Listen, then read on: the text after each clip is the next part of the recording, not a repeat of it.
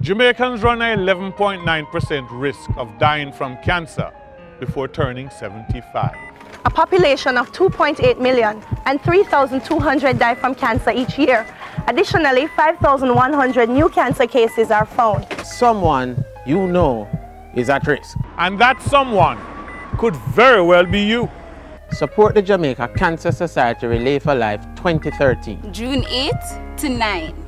6 p.m. to 6 a.m. At the Police Officers Club, contact the Jamaica Cancer Society or email us at cancerconsciousyouth at gmail.com. Fight the fight and help find the cure.